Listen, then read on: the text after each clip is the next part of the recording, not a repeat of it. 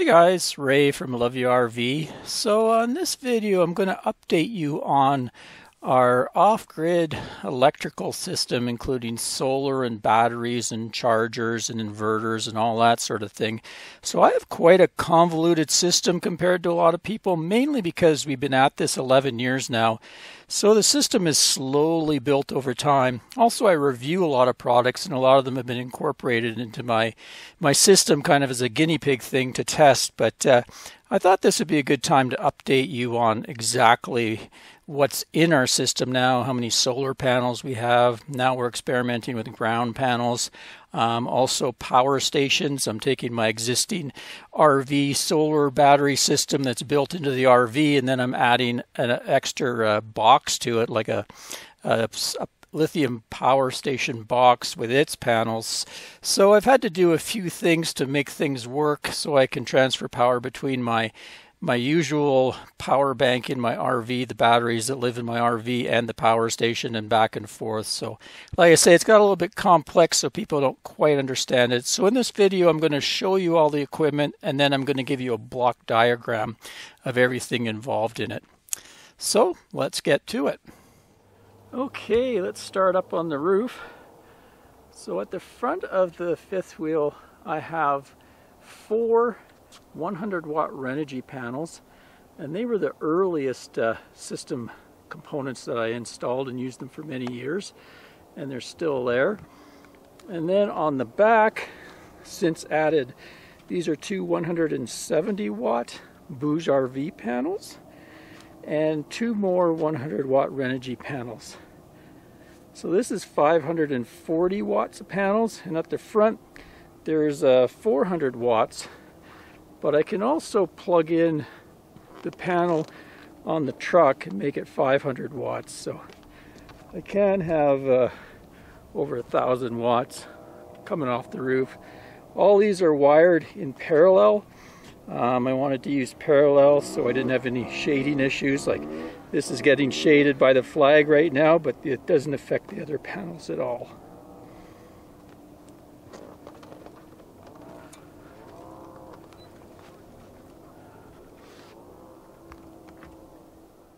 You look at the ground panel setup, so there's six 100 watt folding suitcase style Lion Energy rigid glass panels that I can set out as an array and also a 400 watt folding thin panel EcoFlow panel. You can see how thin that is.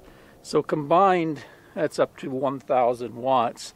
So if I want to get max charge on the EcoFlow power station, I'll put all of them out and then I can get 800 watts of energy into it as far as charging and also have the choice to put either or out. Uh, usually I like to put these out because they're more uh, um, wind resistant than of course the, the floppy kind of big uh, thin panel arrangement. Um, so when I put both of them out, I have it uh, wired. These are all wired in parallel. They're a 24 volt panel, all wired together in parallel. And then I series them with this panel, which I believe is around a, a 50 volt panel. So they series together and then I'm using this cord here, about a 25 foot cord that I can run back and into the, the RV through the water bay. There's a, a hole for the, the hose in that. Comes through and inside and then here's where I store the, the EcoFlow power station. Um, I kind of usually leave this uh, this one side open just so it gets lots of cooling as far as air goes, but it's never had a problem with overheating or anything. And you can see that yellow cord there, that goes off and into my main power distribution center in the RV where I have a transfer switch between the main rig power cable and then this cable. So when that's run into there, I can use all the AC outlets in the RV.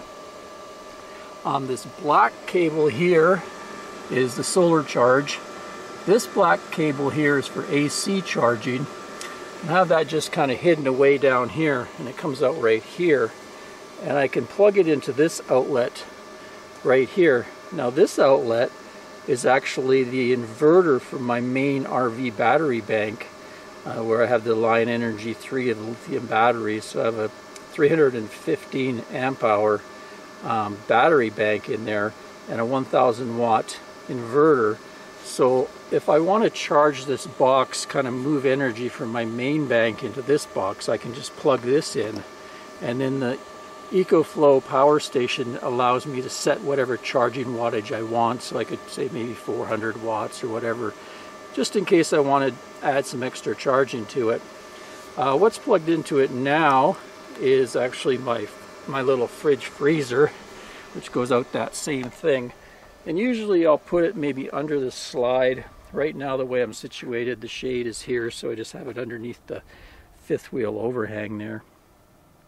Another thing I'll do is when we're traveling and towing, um, I'll have this box and leave it on so that it's powering all the, the outlets in the RV.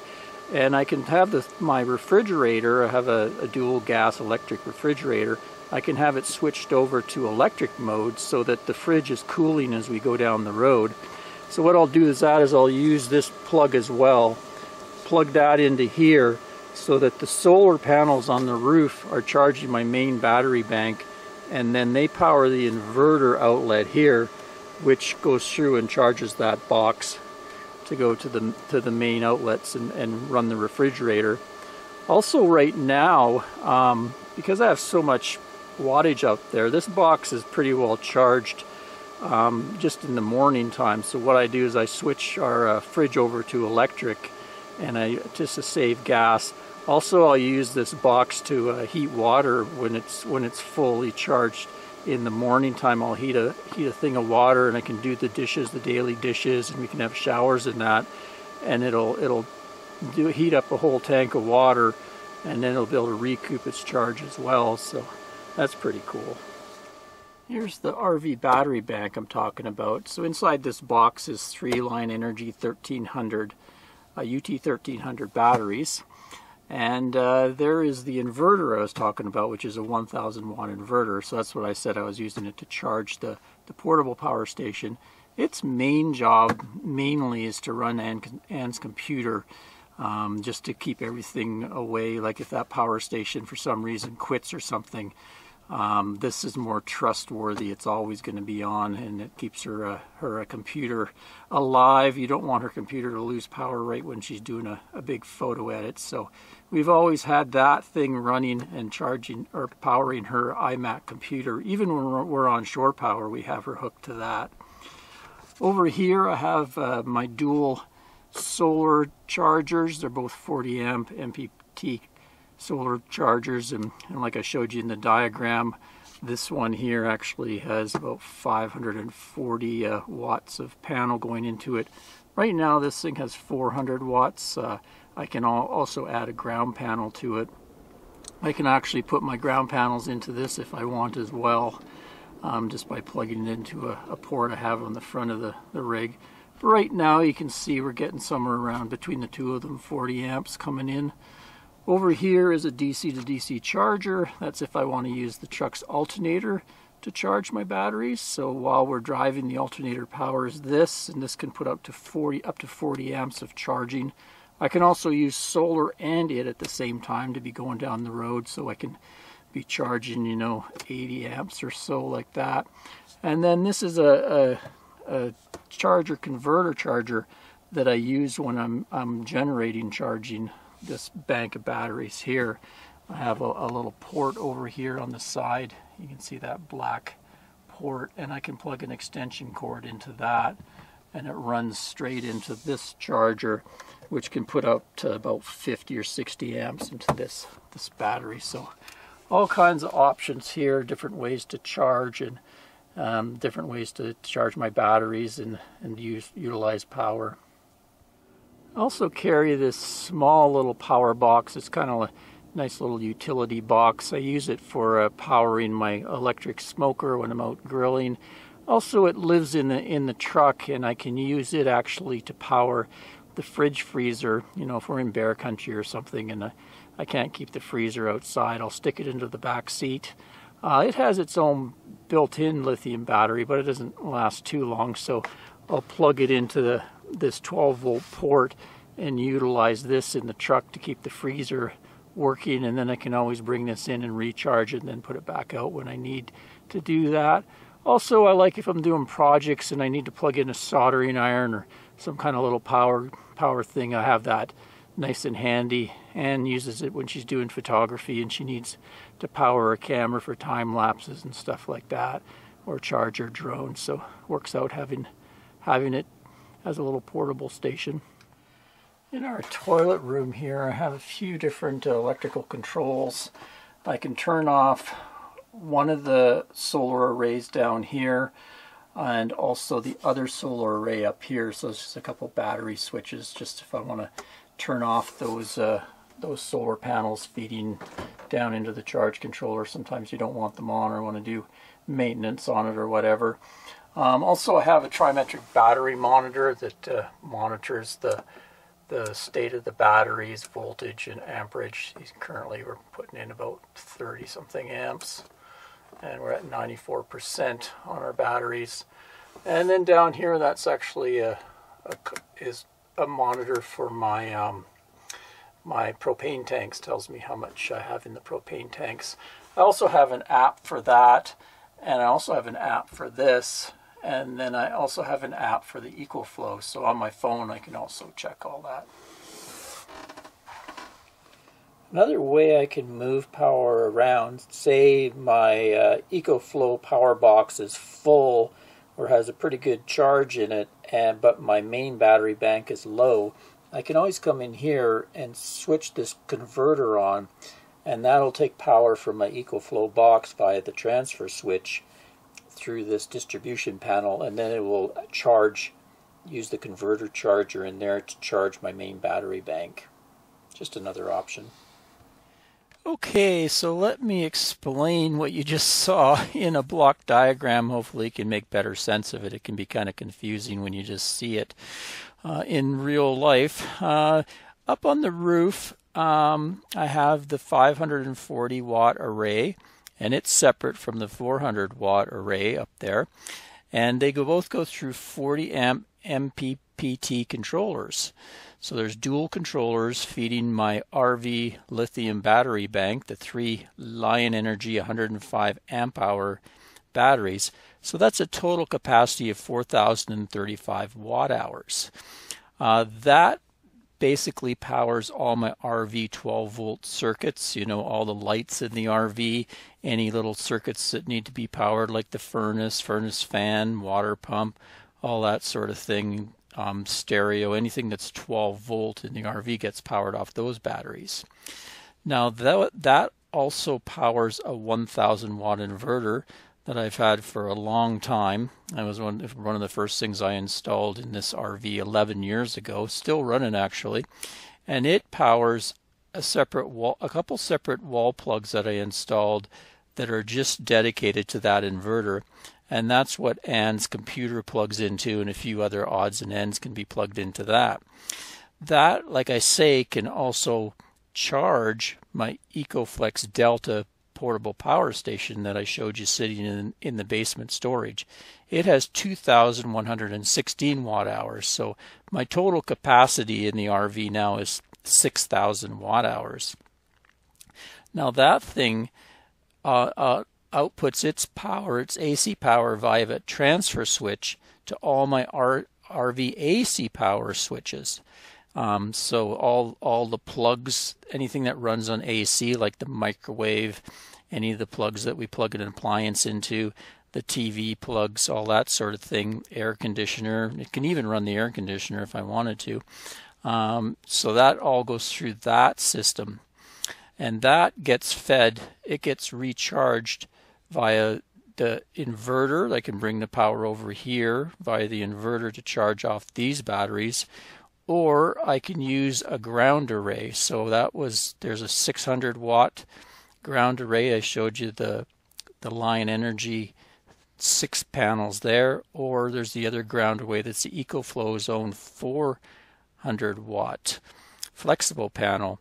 And out of those, you can put a maximum of 800 watts into this. Now, this thing can also be charged off of shore power, or I could take this generator and plug it in that I did in one of the tests, and I can actually put in 1600 watt watts of charging power from the generator. So there's several different ways to charge that. Over here, I have a 60 amp converter charger that I showed you, and I and I can plug my generator straight into that and charge these batteries. Or from the truck, I showed you a DC to DC charger that off the alternator, the power from the battery and alternator in the truck goes through that and can charge this.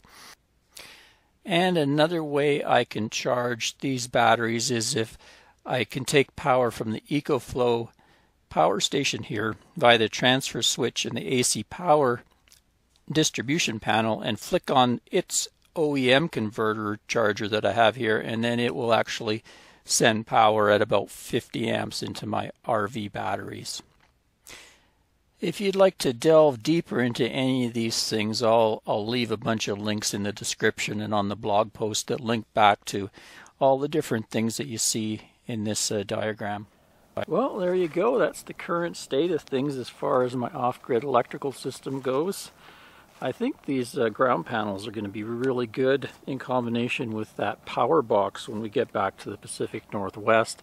Because a lot of times you're camped under trees a lot of the state and provincial parks up there have a lot of treed sites, so I'll be able to actually move that portable box using an extension cord quite a ways from the rig and then put these out and use their cords. So I can get a good 75 feet or so away from the RV if I need to get them into the sun. So that'll help me out.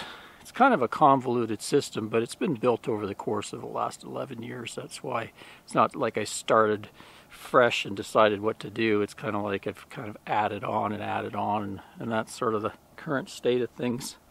I'm going to have uh, EcoFlow, the final video. I promised a third video, kind of my final pros and cons on the EcoFlow box and the solar panel setup. So look for that in the future. I'm also going to do a uh, uh, water and waste update and go through all the the different systems I have for for putting the fresh water into the RVs and making it safe for drinking and also disposing of our waste. I've uh, added a few pieces of equipment lately. You can see here I have a 60 gallon bladder just getting ready to uh, pump it into the, the RV, but that'll be coming up soon, so look for that.